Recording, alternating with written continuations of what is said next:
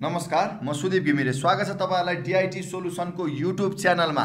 योभन्दा अघिल्लो भिडियोमा मैले डिडिसी है यो तपाईँहरूले यो भिडियो हेर्नुभएको छैन योभन्दा अगाडिको भिडियो हेर्नुभएको छैन भने हेर्नु होला योभन्दा अगाडिको भिडियोमा मैले के देखाएको थिएँ भन्दाखेरि डिडिसीको हाम्रो कि बीको दुई हजार सतहत्तर दस बाह्रमा भएको इक्जामको चाहिँ फर्स्ट पार्ट है। मैले एक नम्बरदेखि दस नम्बरसम्मको क्वेसनहरू डिटेल्समा कुन भनेको के हो कस्तो हो भनेर डिटेल्समा राखिदिएको छु। त्यो भिडियो हेर्नुहोला र अब हामी जाँदैछौँ यसको part टूमा।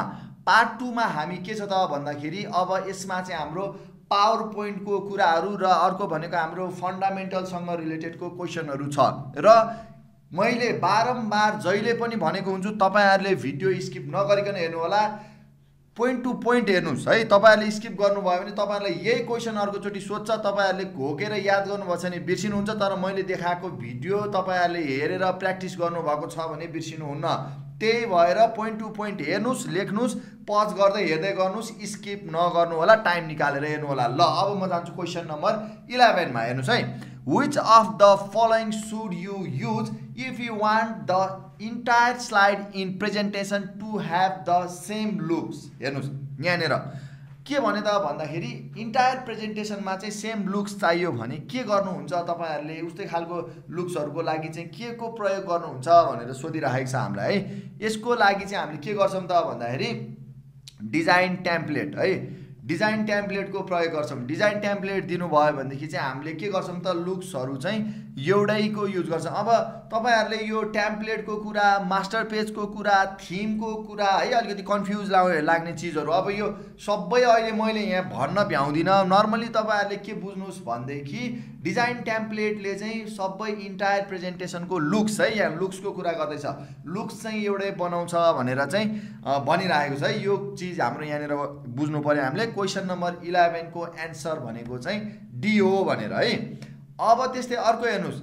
What PowerPoint features will you use to apply the motion effect to different object of a slide हेर्नुहोस् यहाँ बुझ्नुहोस् है कुरो कहानी हाम्रो स्लाइडमा चाहिँ मोसन इफेक्ट दिनु पर्यो अब्जेक्टहरूलाई यहाँनिर एउटा कुरा कहिलेकाहीँ टेक्स्ट पनि आउनु सक्छ यहाँ टेक्स्ट छैन।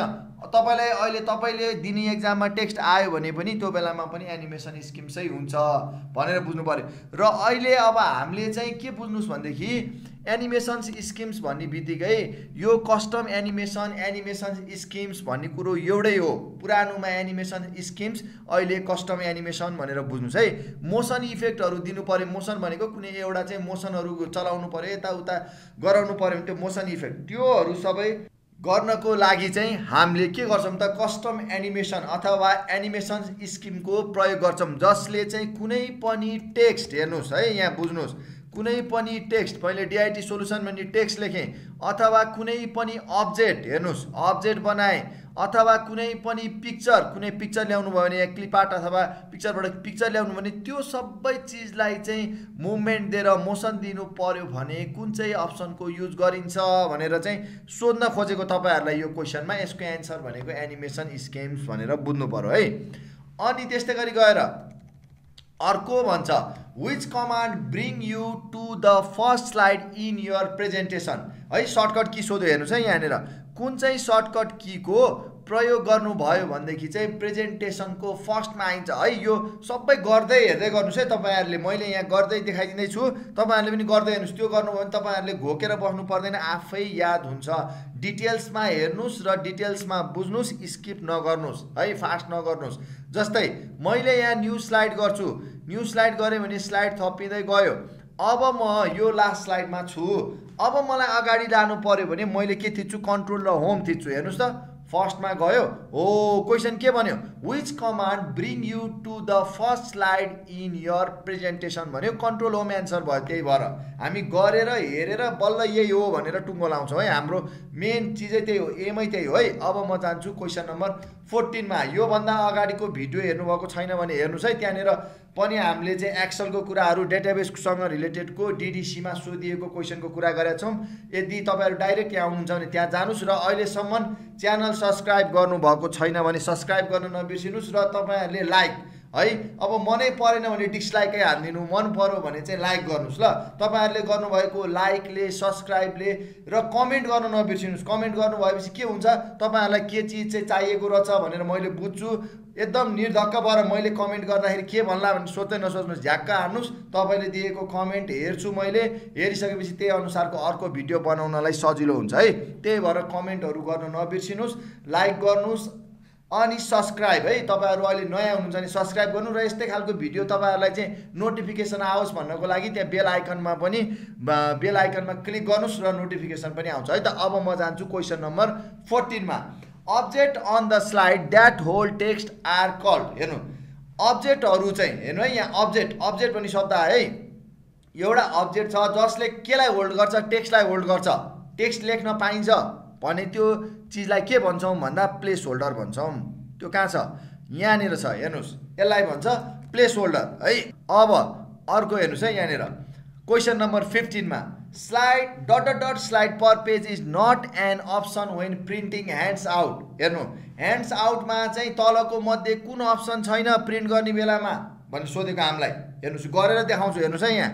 अब मैले यहाँनिर गएर अफिस बटनमा गएँ प्रिन्टमा गएँ। प्रिन्ट गर्दा यहाँबाट प्रिन्ट वार्ड भन्ने ठाउँमा ह्यान्ड्स आउट गरेँ। अब कुन कुन अप्सन छ? वान छ टू छ थ्री छ फोर छ सिक्स र नाइन छ। अब फाइभ भन्ने चिज छ त यहाँ? छैन। त्यही भएर हामीले के गर्यौँ त भने यो ठाउँमा केलाई टिक लगाऊँ? फाइभलाई टिक लगाऊँ। छैन त्यही भएर लगाएको। बुझ्नुभयो नि? यसरी बुझेर डिटेल्समा हेरेर पढ्ने बानी गर्नुहोस् है। पुरै रट्टा नमार्नुहोस् बिर्सिन्छ पछि। डिटेल्समा हेर्नुहोस् बुझ्नुहोस् र यसलाई प्र्याक्टिकल पनि गर्नुहोस् र कपीमा पनि लेख्दै जानुहोस् अनि सजिलो हुन्छ तपाईँहरूलाई है। अब हेर्नुहोस् अर्को क्वेसन अब तपाईँहरूले के हुन्छ कहिले काहीँ चाहिँ कतिजनालाई चाहिँ अझै योभन्दा बेसी क्वेसनहरू हेर्न पाए हुन्थ्यो अझै डिटेल्समा अझै टाइमसँग चाहिँ पढ्न पाए हुन्थ्यो यो पढ्नलाई के सकिन्छ भन्ने जस्तो लाग लाग्यो भने हामीलाई सम्पर्क गर्न सक्नुहुन्छ। Zero one four two six eight zero zero one र nine eight five one zero two five two three फोरमा हामीले अनलाइन क्लास टाढा टाढाबाट साथीहरूले चाहिँ फोन गर्नुहुन्छ। अनलाइन क्लास छ कि छैन? म त टाढा छु सर। क्लास हुन्छ कि हुँदैन भन्नुहुन्छ। क्लास हामीले अनलाइन पनि दिन्छौँ। यहीँ आउनेलाई फिजिकल क्लास पनि दिन्छौँ। तपाईँहरूले क्लास लिएर अझै आफूलाई अझै जान्ने बनाउन सक्नुहुन्छ है। क्वेसन हेर्नुहोस्। यो होइन कि तपाईँहरूलाई मैले क्लास चाहिँ पढ्नुहोस् भनेर म भन्दिनँ। तपाईँहरूलाई ए म त अलिक कम कमजोरी नै छु। मैले अझै धेरै कुरा सिक्न बाँकी छ भनी छ भने मात्रै आउनुहोस् तपाईँहरू जान्ने हुनुहुन्छ भनेदेखि म क्लास लिएर यहाँ आएर बस्नु परेन। यदि आफू चाहिँ म कमजोर छु अलिकति मैले सिक्न पाएँ हुन्छ भन्नुभयो भने अप्सन चाहिँ छ मात्रै भन्न खोजेको है मैले। अन्यथा केही पनि होइन।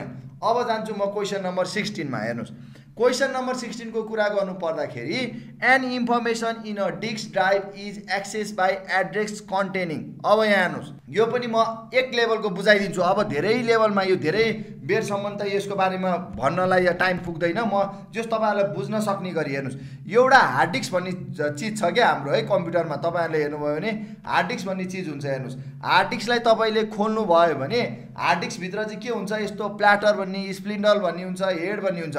अब यो हार्ड डिस्कको यो प्ल्याटरमा है यो प्ल्याटर तिन चारवटा हुन्छ यहाँ देख्न सक्नुहुन्छ है त्यही चिजलाई मैले यहाँनिर राखेको छु हेर्नुहोस् है। अब के भनेको छ त त्यहाँनिर चाहिँ एउटा सेक्टर भन्ने चिज हुन्छ अर्को ट्र्याक भन्ने चिज हुन्छ अर्को सर्फेस भन्ने चिज हुन्छ हेर्नुहोस्।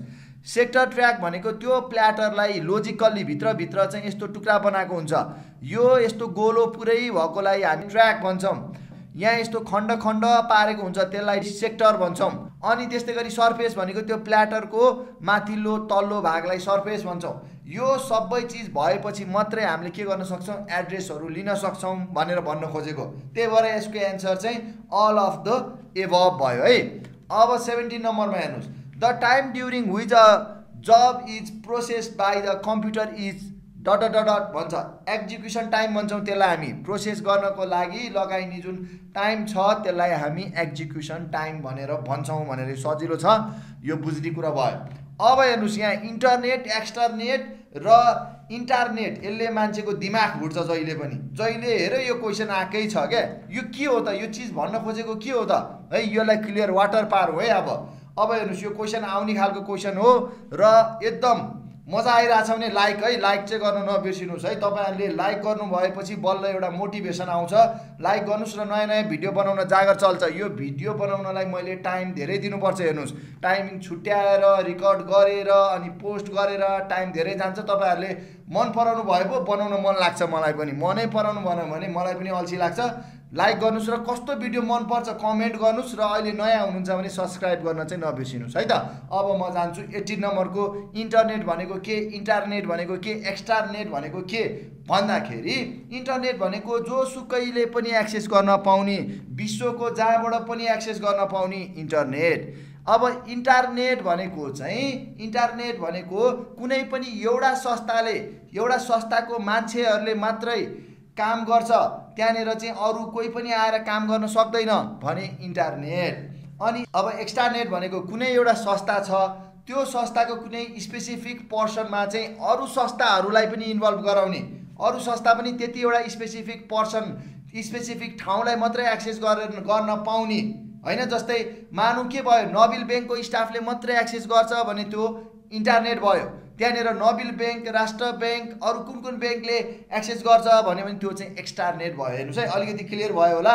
तपाईँहरूले बुझ्नु भएको छैन भने कमेन्ट गरेर काहीँ कुनैमा अलिकति क्लियर भन्यो भने कमेन्ट गर्नुहोस्। कमेन्टमा पनि म एन्सरहरू दिन ट्राई गर्छु तपाईँहरूलाई र लाइक गर्न नबिर्सिनु है त? अब म जान्छु अर्कोमा उन्नाइस नम्बरकोमा। The octal equivalent of one one zero one zero कति हुन्छ भनेर सोध्यो? यो सेभेन्टी टू यो चाहिँ अब हामीले चाहिँ बेस भन्छौँ क्या हामीले बाइनेरीमा दुईवटा बेस अनि ओक्टेलमा चाहिँ हाम्रो आठवटा बेस अनि त्यस्तै गरी गएर हेक्जाडेसिमलमा सोह्रवटा बेस हुन्छ। अनि त्यही अनुसारले चाहिँ हाम्रो के हुन्छ त भन्दाखेरि काम भइराखेको हुन्छ है। अब यहाँनिरबाट गएर यो चाहिँ त्यो अनुसारले क्यालकुलेसन गरेर निकाल्न मिल्छ यो। अब ट्वेन्टी नम्बरमा हेर्नुहोस्। अब हेर्नुहोस् यो पनि धेरै सोधिराख्ने क्वेसन ट्वेन्टी नम्बरको है। यहाँ बुझ्नुहोस् है। र अब a computer program that converts and entire program into machine language at a time is called dot dot dot भन्यो। हेर्नु। यदि कुनै पनि कोड एक एकवटा लाइन बाई लाइन है यहाँ बुझ्नुहोस् है टिप्नुहोस् कपीमा एक एकवटा लाइन बाई लाइन चाहिँ कन्भर्ट गर्छ भनेदेखि त्यसलाई इन्टरप्रेटर भन्छ। होइन ढिक्कै एकैचोटि झ्याप्पै है। झ्याप्पै कन्भर्ट गर्छ भने त्यसलाई कम्पाइलर भनेर भन्छ। है हामीलाई यहाँ के भनेको छ त भन्दाखेरि इन्टायर भनेको झ्याप्पै एकैचोटि कन्भर्ट चाहिँ कसले गरिदिन्छ? अब हामीले के बुझ्छौँ? इङ्ग्लिस ल्याङ्ग्वेज बुझ्छौँ कम्प्युटरले के बुझ्छ? जेरो वान बुझ्छ मेसिन लेभल ल्याङ्ग्वेज बुझ्छ। त्यस्तो अब हामीलाई चाहिँ प्रोग्रामलाई चाहिँ के गर्नु पऱ्यो डल्लै लेखेको कोडलाई चाहिँ मेसिन ल्याङ्ग्वेजमा लानु पऱ्यो भने कसको युज हुन्छ? एकैचोटि लानलाई भन्दा कम्पाइलरको युज हुन्छ भनेर भन्न खोजेको। अब यो भिडियो अलिकति लामो होला जस्तो छ। म यसको अर्को पनि पार्ट छ है। अर्को पार्ट पनि हेर्नुहोस्। योभन्दा अगाडि पनि पार्ट छ है। त्यो पनि हेर्नुहोस्। छुट्याउनु नछुट्याउनुहोस्। छुट्याउनु भयो भने घाटा लाग्यो र स्किप नगर्नुहोस्। र यति भन्दै म सेसन यहीँ एन्ड गर्छु। हस् त धन्यवाद।